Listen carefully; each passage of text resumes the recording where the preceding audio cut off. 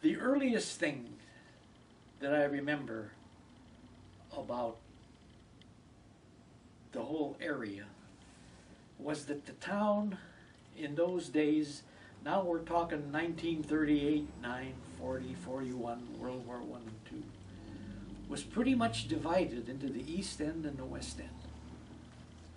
Now the reason for that, there were several reasons.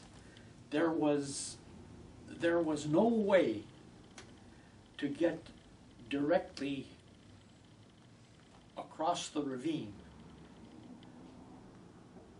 from the Shooting Park Road down to Fourth Street. You had to go, if you want to go to the downtown Peru, you had to go over the Shooting Park Road and down Peoria Street.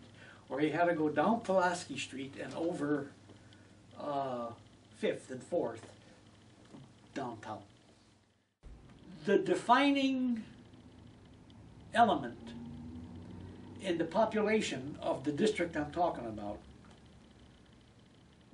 were the Poles and the Italians. Uh, mostly the Poles, because virtually everybody west of Buffalo Street to where the big fill started at Seventh and and uh, Chambers now. Everybody was Polish. I wouldn't say that the Polish language dominated, but you were as likely to hear Polish as you were English. The expansion north of the Shooting Park Road and the, the linking of the west side and the east side by that fill road on 7th Street in Peru.